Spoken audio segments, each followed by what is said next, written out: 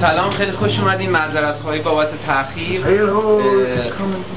سانس دوم روز اول کارناوال انتقام هستش. سه تا کار رو مشاهده می‌کنین کار اول.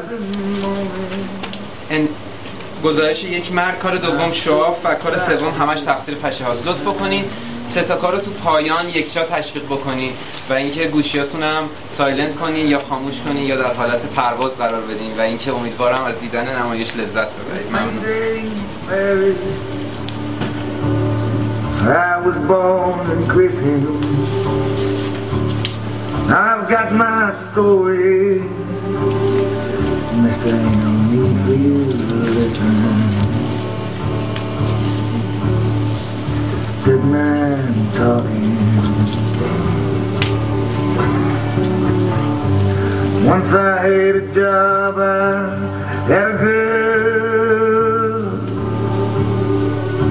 Between our dreams and actions lies this world. In the deep valley, their blood and tears rushed over me. I was the drugs and the shotgun. And my feet up inside like a dead man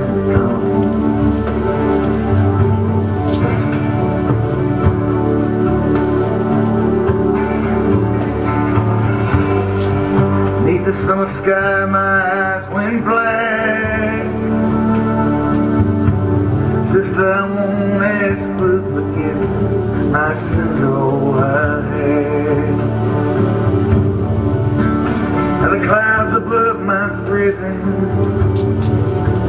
move slowly across the sky.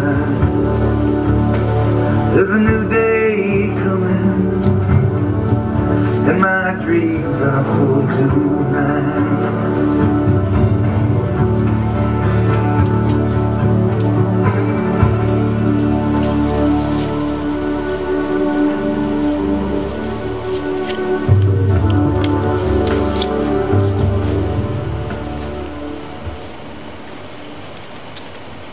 کسی نیست؟ می‌تونم اینجا بشینم؟ متشکرم. واقعا متشکرم.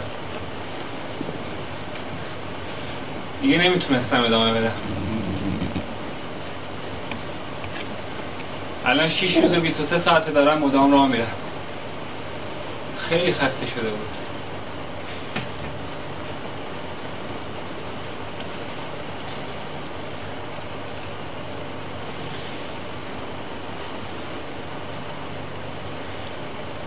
سنجاق دارین؟ شما چطور؟ شما سنجاق ندارین؟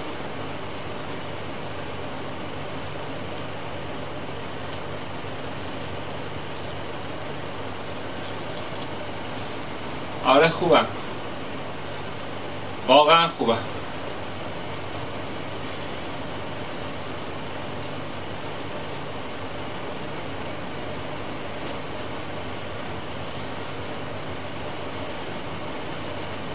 نه خوب نیستم. واقعا خوب نیستم. تا حالا تا حالا کسی رو کشتی؟ می‌دونی چه حسی داره وقتی صمیمی ترین دوستتو می‌کشی؟ اونم نه یه آدم معمولی مثل بقیه آدم ها یکی که بزرگترین کارگردان تاریخ سینما از نظر خیلی از منتقدا بوده. محمد محمدپور اتفاقی نمون من اونو کشتم آره من اونو کشتم الان 6 روز و 23 ساعته دارم با خودم راه میرم و میگم این همه آدم تو دنیا واسه کشتم بود. چرا زارت زدی محمد کشتی؟ چه می‌دونم می‌زدی جان اف رو میکشتی گاندی رو میکشتی. آخه چرا محمد؟ چطور تونستم بکشمش؟ چطور تونستم بکشمش آه که چقدر پستم. آه آسمان ها بر من بگرید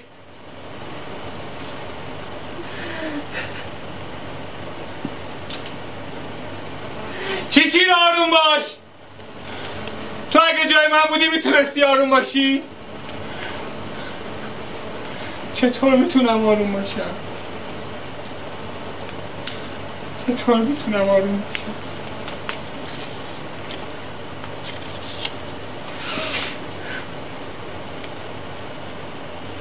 چی رو تعریف کنم؟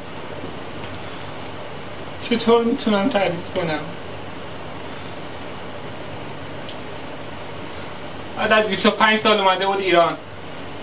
وقتی رفتم ببینمش دستامو باز کردم و دویدم سمتش تا با تمام وجود بغلش کنم. اما این پام گرفت به اون پامو با کله رفتم تو شکمش. اونم عقب عقب رفت و پاش گرفت یه چاله و خورد زمین. همون لحظه ماشین داشت از اونجا رد بشه لاستیکش رفت رو چرخ روی سنگ و سنگ کمونه کرد و خورد تو شیشه مغازه بالا سر محمد. شیشه شکست و یه تیکه بزرگش افتاد روی بادکنک که بچه‌ای که داشت اونجا بازی می‌کرد. ایست قلبی بر اثر ترس. بدترین نوع مرگ. همیشه با خودم فکر می‌کردم بدترین مرگ یه آدم اینه که تو قیر داغ بسوزه.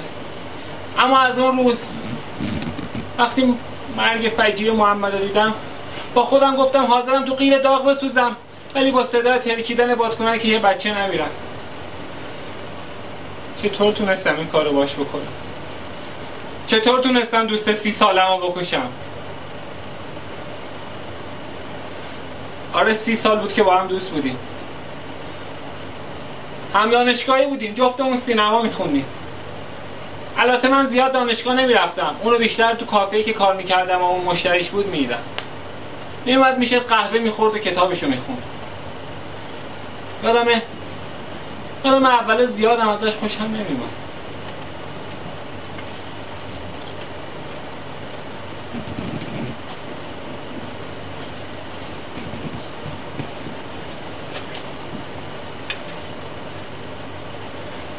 نگاه کن تو رو قرآن مجید.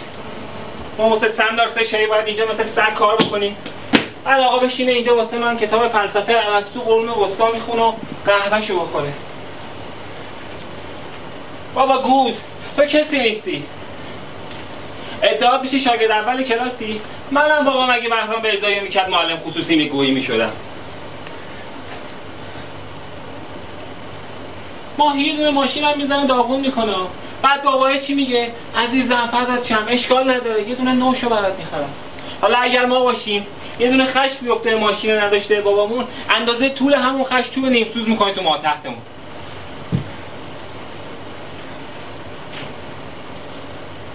آخ که چقدر دلم می‌خواد اون کتاب تو کلت خود کنم. خود بورژوا انتلکت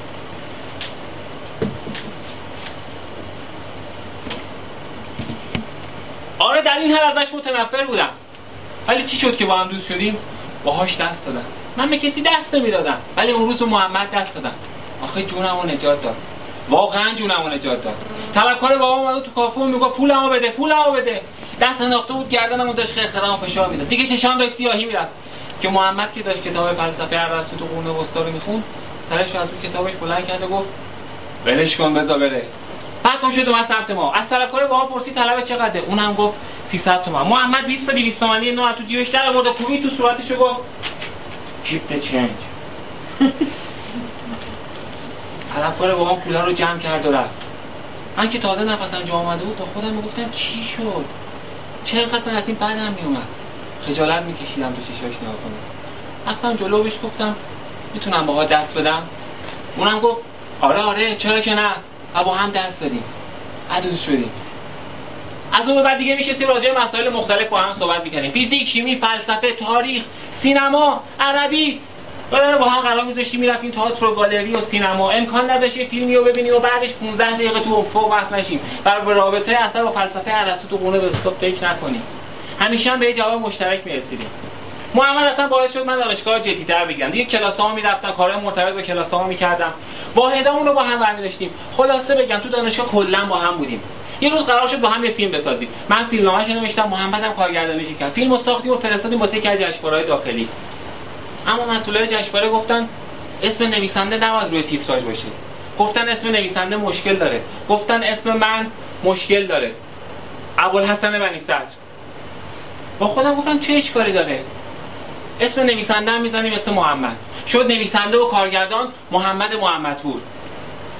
اون فیلم اون سال تو جشنواره جایزه بهترین فیلمنامه رو گرفت. محمد وقتی رفت بالا جایزه در بگیره بعد از پدر مادرش جایزه تقدیم کرد من. خیلی بچه منصفی بود. دیگه بعد از اون داستان رابطه هم و محمد هی داشت بهتر و بهتر می‌شد. میشستیم دی... تا این وقت تو کافه با هم قهوه میخوردیم و موسیقی گوش می‌کردیم و سیگار میکشیدیم. یادم یکی از این شبایی که نشستیم تو کافه داشتیم با هم مراسم اسکار رو نگاه می‌کردیم I know I share that feeling with you and with the nominees for Best Achievement in Directing. They are Milos Forman for Amadeus,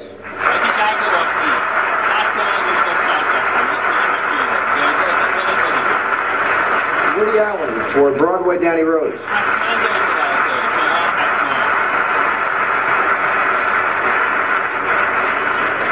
Roland Joffe for The Killing Fields.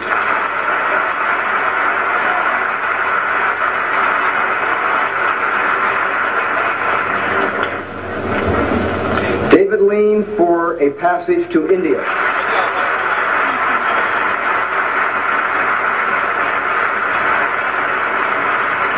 Robert Benton for Places in the Heart,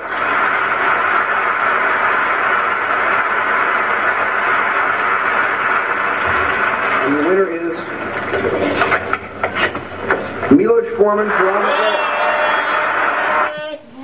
چرا قطع کردی؟ بسه ببینیم آجی چی میشه حالا صد تومن باختی چی شدی تو؟ محمد اون شب خیلی قاطی کرده بود. می‌گفت جمع کن بریم آمریکا. بهش می‌گفتم چی جوری بابا؟ چی میگی تو هم جب گرفتت یه مراسم دیدی؟ بکن بذار بقیه‌شو ببینی می‌گفت نه دوست نداری برسی به اینجا دوست نداری بری اون بالا دوست نداری این جایزه برای تو باشه. بهش می‌گفتم کیه که دوست نداشته باشه؟ ولی چی جوری؟ بابا ما که کسی نیستیم. می‌گفت نه. میگو اگه بریم آمریکا اگه بریم اونجا درس بخونیم اگه بریم اونجا سینما بخونیم چرا؟ چرا ما نرسیم به اینجا؟ ما هم یکی مثل بقیه. ازم قول گرفت. قول گرفت که با هم بریم آمریکا. اون شروع کرد به رزومه جمع کردن منم شروع کردم به رزومه و پول جمع کردن. دیگه درسمون که تمام شد واسه دانشگاه مختلف اپلای کردیم. محمد چون رزومه قوی تری داشت از دانشگاه UCLA پذیرش گرفت. منم از کالج سن جوزف. دیگه همه کارامون رو کرده بودیم. بلیط هم گرفته بودیم. واسه پرواز 723 15 اسفند ساعت 5 صبح بلیط گرفته بودیم. اما من نتونستم برم. اسهال گرفتم همسایه‌مون خانم محبی از اونجایی که من خیلی دوست داشت یه شیرینی گرفته بود و اومده بود بدرقم تو محله ما همه اینجوری بودن. همه با هم احساس خانوادگی می‌کردن. اما مثل اینکه شیرینی ها خراب بود خامه توش فاسد شده بود. من هم که 13 14 تا از اونا خورده بودم اسهال شدم. درست مثل داشتم هیچ وقت لحظه ای که محمد داشت از گیت رد می‌شد یادم نمیاد برگشت و برام دست داد. منم گل شدم یه بیلا خوشیشون دادم بهم گفت منتظرت میمونم تا بیاد. منم گفتم آره آره حتما. اسهالم که خوب شه میام. ولی من دیگه نتونستم برم. اسهالم که خوب شد اما دائم الممنوع خروجم کرده بودم. طلبکارای بابام چکاشو گذاشته بودن اجا از اونجایی هم که بابام فوت شده بودی من بودم که بچه کار پاس می‌کردم. اون رفت و تو بهترین دانشگاه آمریکا شروع کرد درس خوندن. منم اینجا موندم و درگیر کارهای روزمرم و پاس کردن چکای بابام شدم. محمد بعد از سه سال دیگه درسش تمام شد. دیگه باید وارد دنیای پرشور سینما می‌شد. خودش می‌گفت نقطه عطف زندگیش یه پارتی بوده که یکی از دوستاش دستشو به زور می‌گیره و می‌بره اونجا. محمد که خیلی با پارتی حال نمی‌کرده یه گوشه نشسته بود و با خودش کس کرده بوده که خانم میر دختر رئیس کمپانی گلدن میر میره کنارش میشینه و میگه همچین پارتی مالی هم نیستا محمد که باش موافق بود میگه آره منم یه همچین حسی دارم. خانم میر می‌فهمه که چقدر با محمد تفاهم داره و سر همین قضیه اونا دو هفته بعد با هم ازدواج کردن. جالب اینجاست من و میترا خانم هم میگم دقیقا تو همون ماهی ازدواج کردیم که محمد اینا ازدواج کردن.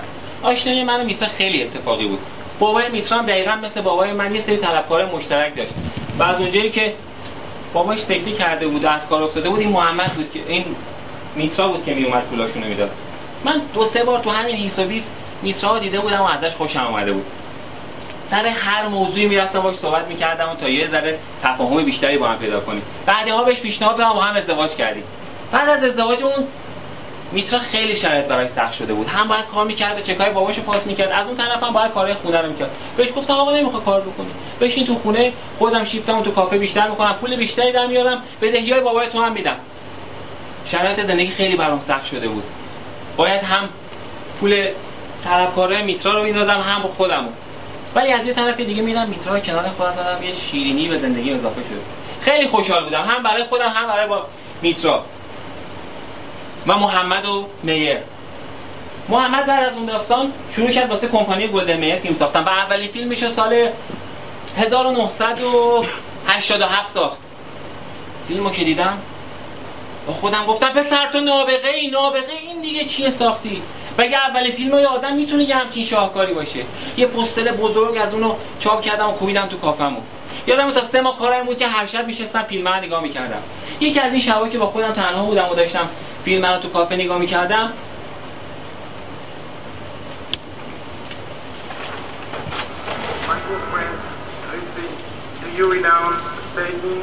you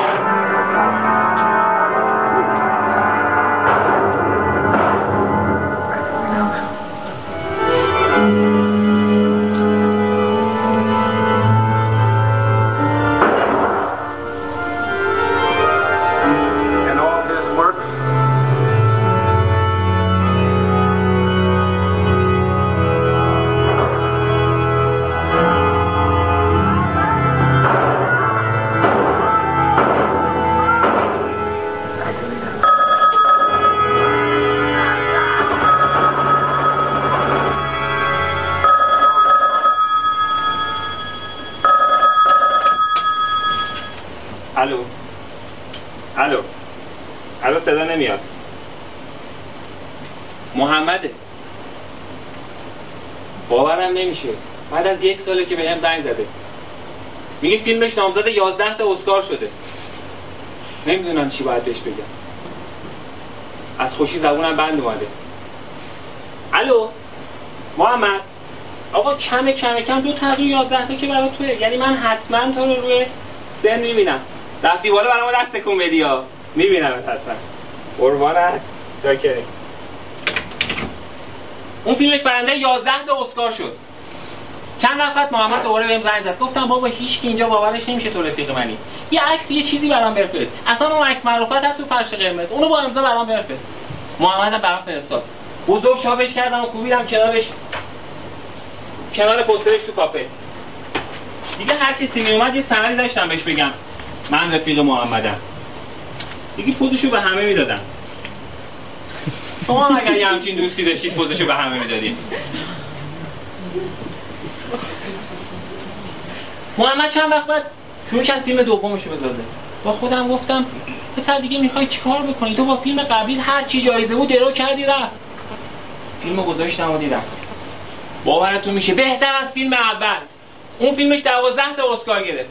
همون سال به خاطر همون فیلم جایزه صلح نوبل بهش دادم. این که چیزی نیست. حتما یادتون میاد ملکه انگلستان هم به خاطر دستاوردهای هنریش لقب سه رو داد. غیر قابل باور این همه استعداد و توانایی توی آدم. محمد واقعا یه نبوغ خدادادی داشت. البته خودش می‌گفت نه اینجوری نیست. من یه آدم معمولی هم مثل بقیه آدما اگه به نبوغ استعداد ابوالحسن تو نبوغت از همه بیشتره. ولی یه تکونی بخور یه فیلمی بساز. چی همش چسبی تو اون کافه؟ ولی من دیگه واقعا پولی نداشتم. یه دفعه بعد از کلی این درون در زدن و سگدو زدن یه ذره پول جور کردم به خاطر اصرار محمد. یه فیلم سه ثانیه‌ای ساختم و فرستادم به جشنواره تا به این امید که بتونم با جایزه‌اش قسمتی از بدهیامو بدم. اما همون سال مسئولای جشنواره گفتن فیلم های سه ثانیه رو باید برداریم و به جاش فیلم های چهار ثانیه رو بذاریم. دلیلشون هم این بود که یه هنرمند نمی‌تونه همه دغدغه‌هاشو تو سه ثانیه بیان کنه. راست هم می‌گفتن. اما من دیگه پول نداشتم یه ثانیه بیشتر فیلم بسازم. بعد از اون داستان کلا دیگه بیخیال فیلمسازی و هنر و سینما و این داستانا شدم نه پولشو داشتم نه حوصله‌شو داشتم. از یه طرف بدهی های بابام و بابای میترا بود از یه طرف دیگه هم درگیر تربیت درست و صحیح بچه هم شده بودم. واقعا هشت بچه قد و نیم قد مثل آدم کمر نمی‌ذاره. البته یکی از بچه هم خیلی علاقم به سینماست. مدام فیلم می‌بینه و نقد می‌نویسه. یادم یه دفعه رو فیلم اصل جدید محمد یه نقد نوشته بود و رابطه اثر رو با فلسفه ارسطو رو تو قرون وسطا بررسی کرده بود. نقد رو برای محمد فرستادم. انقدر باش حال کرده بود که تو مجله 1536 نیویورکر چاپش کرد. بهم قول داد وقتی بیاد ایران یه شمارهشو برام میاره. لحظه مرگش. مجله رو گرفت سمتم و گفت اینه بده به پسرتو بهش بگو. اما محمد خیلی باهاش می‌کنه. خیلی بهش افتخار می‌کنه. و مرد. بیچاره چه مرگ سختی داشت. اومده بود ایران. تا یه بارم تو کشور خودش جایزه بگیر اومده بود تو جشنواره فیلم فر شرکت کنه و به آخرین آرزوش که سیمرغ بلورین بهترین کارگردانیه برسه. که من نذاشتم. چطور تونستم این کارو باش بکنم؟ چطور تونستم بکشمش؟ خیلی پستم آه آسمان ها بر من بگرید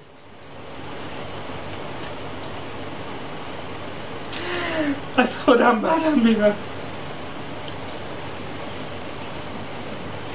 اوه اوه. جواب خانوی میه رو کی میده؟ بهش چی بگم؟ بگم شوهرت کشتم؟ بگم بعد از سی سال دوستم ایران که بکشمش؟ نه. نمی‌تونم تو چشاش نگاه بکنم. شما سنجاق ندارید؟ شما گفتید که سنجاق ندارید؟ می‌خوام دیگه. می‌خوام با چشامو کور کنم و از اینجا برم. نمی‌دونم هر جا. یونان. نه منصرف نمیشم. باید از اینجا برم. واقعا منصرف نمیشم. شما سنجاق ندارید؟ شما چطور؟ یه خانمی اونجا سنجاق داره. اگه ندارید برم از ایشون بگیرم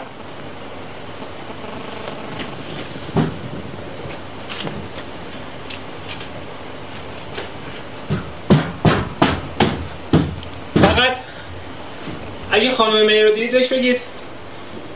ابوالحسن واقعا نمی‌خواد شوهرشو بکشه.